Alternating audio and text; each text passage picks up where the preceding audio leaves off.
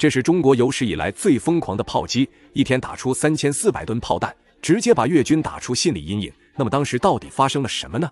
中越两个国家之间曾经一度关系较为亲密，尤其是越南社会主义共和国的开创者胡志明跟我国老一辈革命家关系密切。但没想到，本该两个关系紧密的国家，因为继任者李隼倒向苏联而变得剑拔弩张。因为前者在苏联的支持下，不断在中越边境进行挑衅，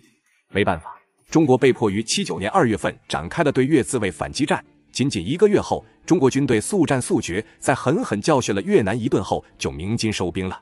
很多人认为这场对越战争就到此结束了。实际上，中越之间围绕着后续边境问题，一连打了将近十年，直到八九年才算偃旗息鼓。期间，大大小小的战争不断。因此，我们今天说的八四年炮战归结于对越自卫反击战一部分，这个说法没有问题。为何着重强调八四年呢？因为在这一年，中国从昆明军区调兵遣将，一举收复了被越南占领的老山、者阴山一带，也就是俗称的老山战役。老山战役的目标，就是为了解放被越南占据的国境线上老山、者阴山两座山峰。为何这两座山峰如此重要？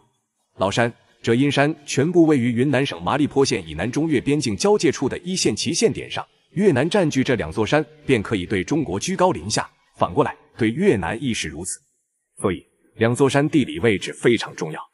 但自从中国七九年从越南撤兵后，越南并不服气，先后又暗中侵占了老山、者阴山两个重要据点，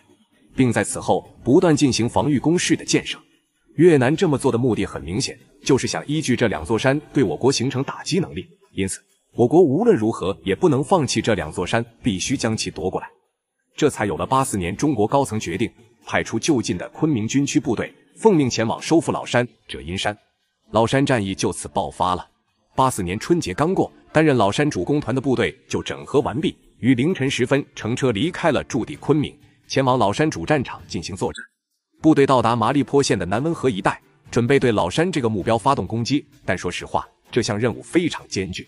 因为老山已经被越军占据经营了五年有余，除了大量坚固的军事防御阵地之外，为了确保老山牢牢掌控在越方手里，越南不仅派驻了精锐三百一十三师，而且配备了炮兵旅、师炮团、炮兵营、炮兵连，外加一百八十八门重型火炮。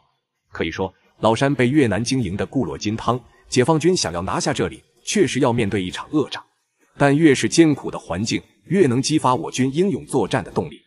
在临近真正的战斗之前，我军已经为此次战斗做出了军事部署演练，但实际的战场环境还是让参与主攻的部队苦不堪言。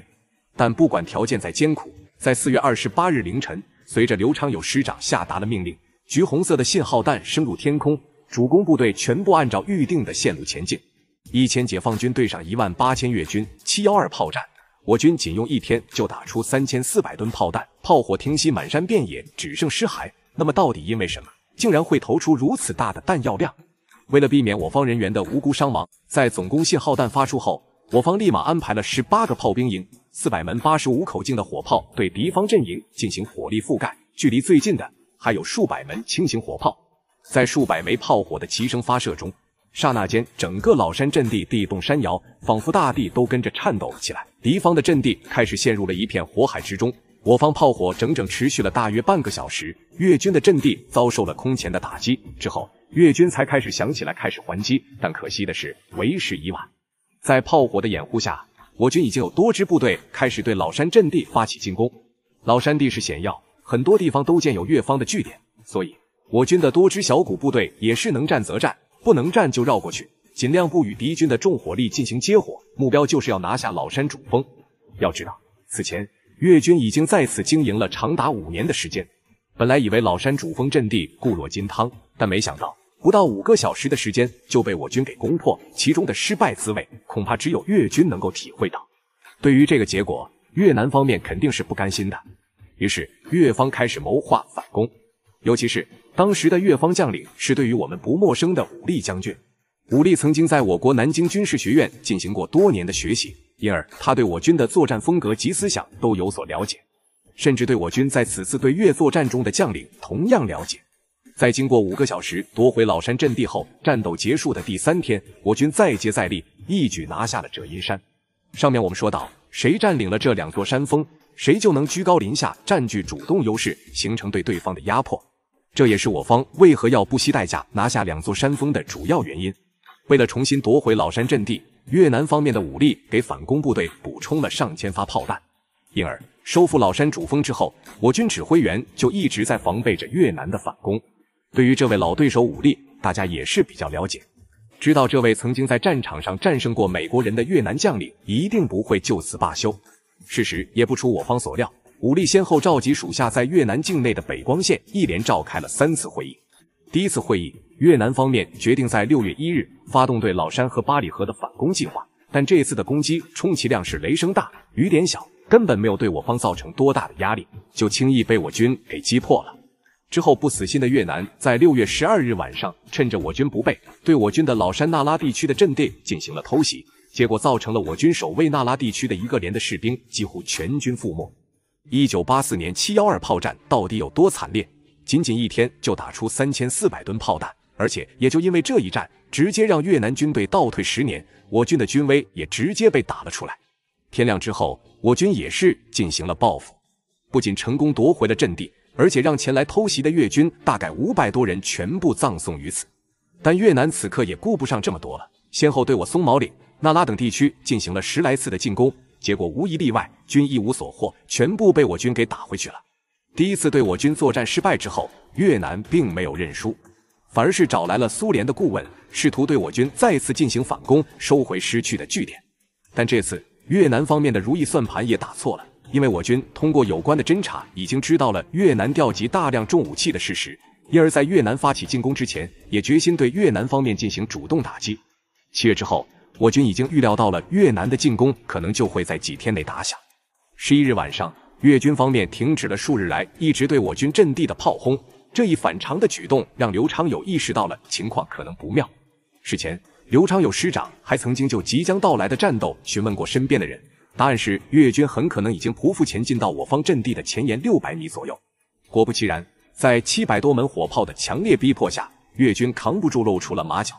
在这场炮战中，我方的每门大炮都准备了足足三枚撞针，只要有一根打弯了，就直接换上另一根继续。而且每门大炮的射程也是超过了以往训练的距离。打到最后是什么结果？炮战从十二日凌晨左右一直持续到了当日中午时分，仅仅在将近半天的时间内，我军就打光了三千四百吨的炮弹，放到一个连队身上，就足足发射了一千九百八十三发，创下了炮战中的世界纪录。这一仗。越方付出伤亡七千多人的代价，结果却是始终没有往前推进一步。所谓的收复两山阵地也变得遥不可及。自此后，越南再也没有组织起大规模的反攻。尽管中越边境依旧没有太平，但这些战争已经在这起炮战中显得微不足道。虽然对越自卫反击战在八九年就已经结束，但老山战役却继续延续到了上世纪九十年代，同样几乎长达十年的时间。应当说明的是，老山战役虽然以我方的彻底胜利而告终，但中国人民也不想永远的接受战争。我国历来也是爱好和平的一方，所以在战争彻底平息后，双方也是经过了友好谈判，最终老山、折阴山两座重要战略山峰，中越双方决定都不驻军，只是在主峰上建立了一座座分界碑，中越双方都可以上去巡逻。自此，边界终于迎来了和平。几十年前的那场战场已经远去。很多当年的亲历者都还活在世上，虽然对越自卫反击战我方获得了胜利，但付出的代价也是十分惨重的。这就提醒我们，战争永远都不是儿戏，任何的战争都会付出一定的代价。所以，尽量在能够谈判、以和平的方式解决的时候，就不要随便发动战争，因为战争的结果只能是两败俱伤。